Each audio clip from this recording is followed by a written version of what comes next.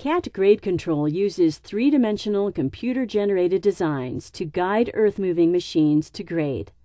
The operator can create simple three-dimensional level pads or surfaces on the grade control display. In this video, we will show the steps to create level pads with a known elevation or to balance the material available. We will also show the steps to create a sloping field with drainage to both sides and a sloping field with an embankment at one end. For level pads that have a specific elevation, you can set that elevation without using any type of reference mark. To begin, press the menu key and then enter the Select Design menu. You can choose to edit an existing level design, but in this example, we will create a new one. The dialog that appears needs to know if you want to use an existing or create a new coordinate system. If you want to use a previous coordinate system, choose that option. Press the OK key and then enter the desired elevation for the pad using the arrow keys. Once complete, a name is created for the design. For level elevations, use the value of the elevation for the name. Remember that the OK key saves choices and the Escape key returns to the home screen. Check the grade where the material might balance. Instead of entering an elevation, press the Here button and the system will automatically enter the current elevation of the cutting edge.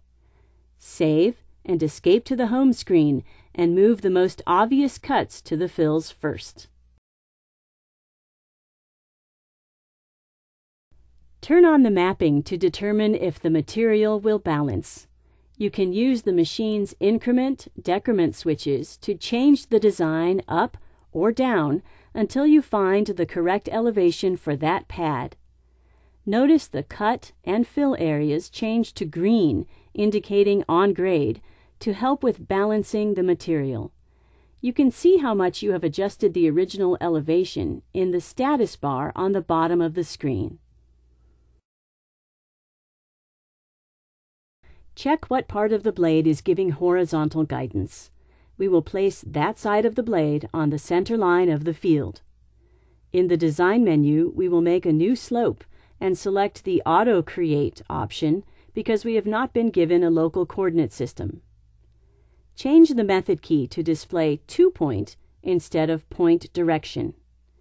Using the Here key auto loads the coordinates of the blade position both vertically and horizontally. Move the machine to the center line at the other end of the field. Press the key for point 2 and again use the Here key to auto-load coordinates and create a straight line between points 1 and 2. The sports field needs a width, so we will use the cross slope key to define it. Arrow keys and the tab key enter our cross slope of 1% for both left and right. Notice the angle indicators change to represent either an up or down direction to both left and right.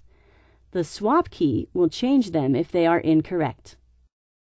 Before we save this design, we want to modify the main grade down the center line so that there is no slope along the length of the field. Change the method key from two points to point and direction.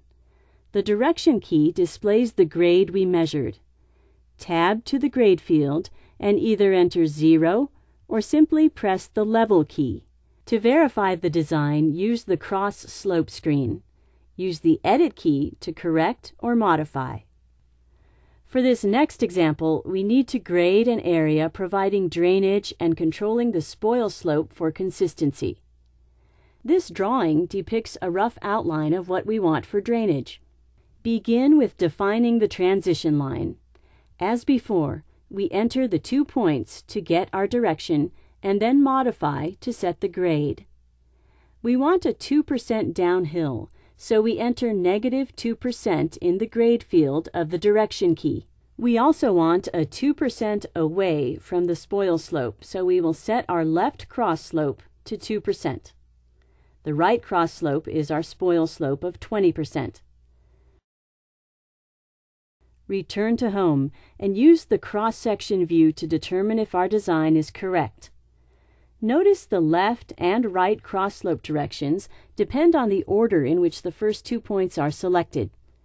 Edit the design if needed. There are many uses of CAT grade control's onboard designs. For example, using a combination of several design files that can be activated when you are working that section of the site would allow more variations. For intricate designs, it is more efficient to use design software such as Trimble's Business Center. However, knowledge of using the onboard designs can save time and surveying costs for many projects. There are additional videos for operation of the grade control display. For full operational instructions, refer to the operational and maintenance manual provided with the machine.